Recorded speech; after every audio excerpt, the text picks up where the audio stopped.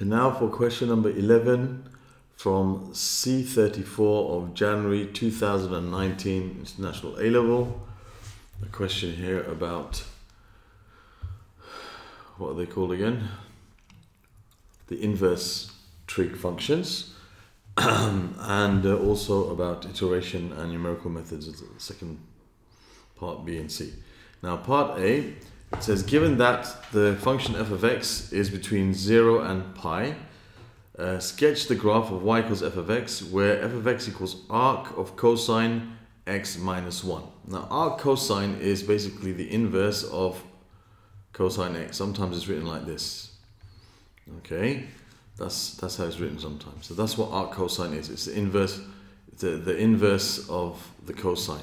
Okay, so for example, when you have, um, you know, cosine x equals a half, all right, what we say is we say, okay, inverse cosine of x, of, of a half, sorry, is equal to x. That's how we find the angle. Okay, so we say x is equal to the inverse cosine of a half. Okay, so it's like the inverse function of cosine x. Okay, so sometimes you say inverse cosine, but a lot of mathematicians they like to use arc cosine instead of inverse cosine to save confusion. So they put arc, cosine of half instead of cosine minus one half. It means the same thing. It's an inverse function for cosine. Okay, so basically what you do is when you when you're sketching the the co co cosine curve.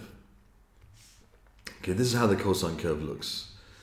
All right between 0 and pi, the cosine curve, it starts from 1, it goes through 90 degrees 0, and at pi, it goes to minus 1. So it looks something like this. This is how the cosine curve looks between 0 and pi. Okay, the inverse cosine curve is basically the cosine curve, um, uh, the inverse of it. So basically the x, x-axis becomes a y-axis and the y-axis becomes the x-axis. So in fact, it's going to look something like this. Let me draw it down here a little bit so we've got space. So it's actually going to look something like this. So first I'm going to draw arc cosine of x. First I'm going to draw uh, y equals arc cosine of x. Then I'll do this um, arc cosine x minus 1. So basically, it's this is now your when you're drawing the inverse of a function, your x-axis becomes your y-axis and your y-axis becomes your x-axis. So I'm going to have here minus 1 and 1. And here I'm going to have 0. I'm going to have pi over 2 and I'm going to have pi. Okay, pi.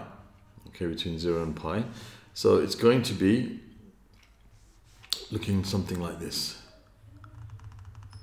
Go like that like that. Let me just try and make it a bit better.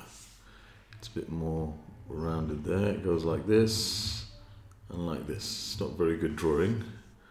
Okay.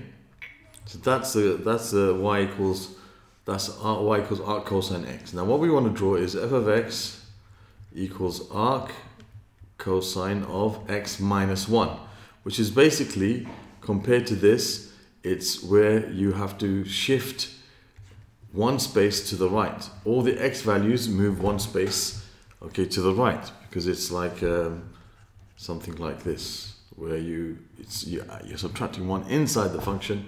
Therefore, everything moves to the right one space. That's why it wants us to draw, draw between zero and two.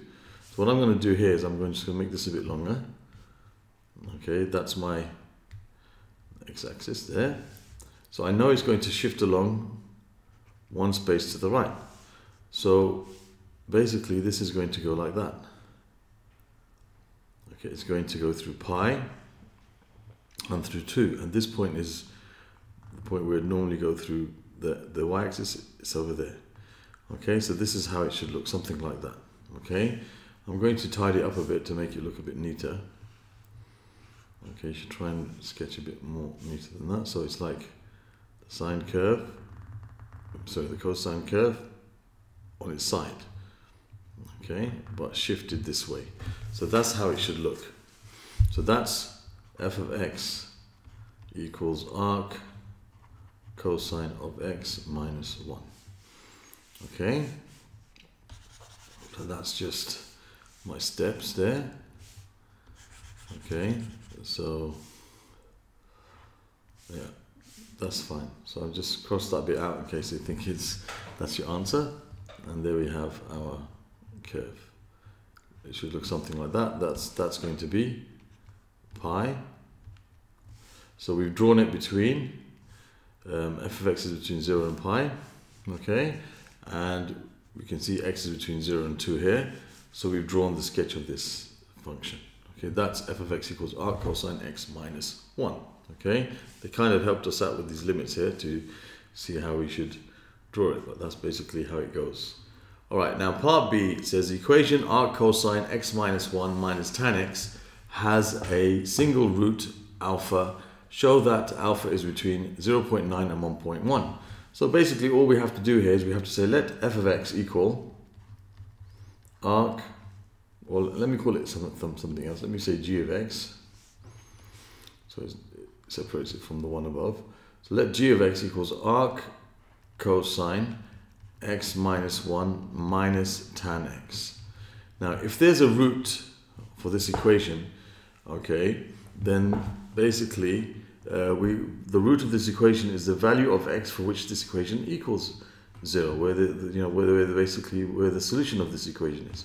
So if the root is between 0.9 and 1.1, somewhere between them, then basically wherever this crosses the x-axis, okay, just supposing it's going like this, we don't know, Supposing it crosses the x-axis at this point, okay, if that point, if that root where it crosses the x-axis, that's the root, is between 0.9 and 1.1, then somewhere between 0.9 and 1.1 is going to cross the x-axis. So there will be the sign when you put x equals 0.9 in the function will be different than the sign when you put 1.1 inside the function.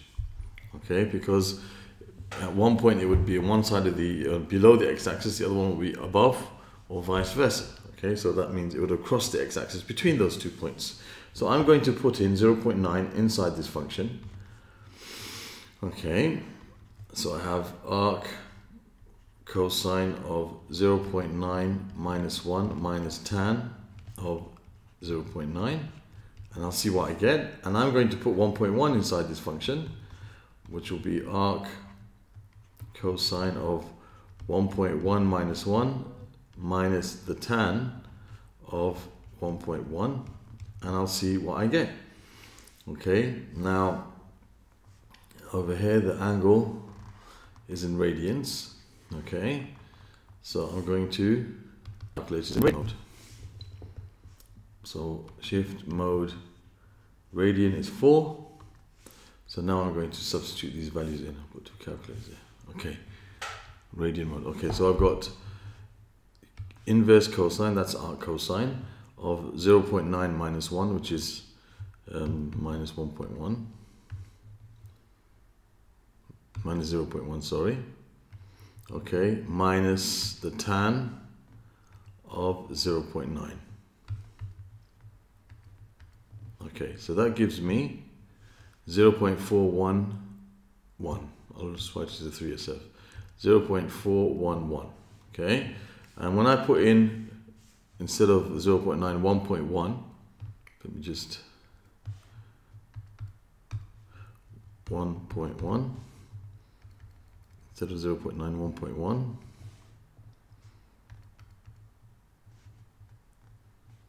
Whoops, inverse cosine. 1.1 minus 1 that gives me a negative value. So it's minus 0.494. Minus 0.494. So we can say as, okay, um, there is a change of sign. A change of sign.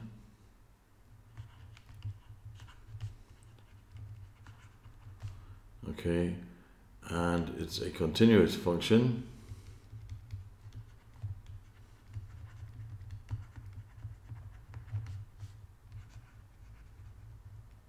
function. Therefore um, alpha is between 0.9 and 0.1 okay? Something like that. Okay, then it says the iteration formula xn plus 1 equals arctan times arc, arctan of arc cosine xn minus 1 can be used to try or can be used to find an approximation for alpha. Take x0 equals 1.1, taking um, alpha uh, x0 equals 1.1, find to three decimal places the values for x1 and x2. So basically x1 is going to be when you substitute x0 into here. So you're going to have arc tan of arc cosine 1.1 minus 1 and you see what that gives you so you just stuff that put that in your calculator what I'm going to do is I'm going to take 1.1 and I'm going to put equals I'm going to press answer. That's stored as an answer now. So when I do inverse tan arc tan oops inverse tan of inverse cosine of now I'm going to put instead of um, 1.1 I'll put I'll put um, answer. So I'm going to put the answer. So that that right now that's 1.1 minus 1 so I'm going to close this bracket and close the other bracket. I'll press equals. That will give me x1 which is 0 0.2 three decimal places 0 0.974 so 0 0.974 to three decimal places.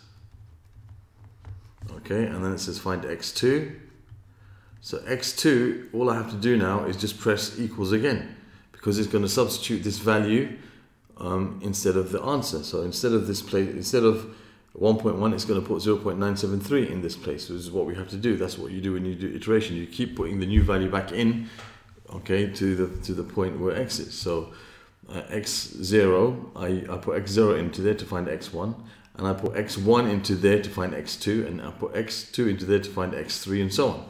So now I've got to put x1 into here to find x2. So x1 is this, which if I press equals, the, the way I've set up in the calculator is going to take my last answer and put it in this place. So I press equals again, it's going to give me 1.011. Okay, so x2 is 1.011. You don't need to write all those steps again You can just show that the first time what you did and then you can have your answers x1 and x2 and there we have the answer to this question. Number I think it was 11 yeah that's answer number 11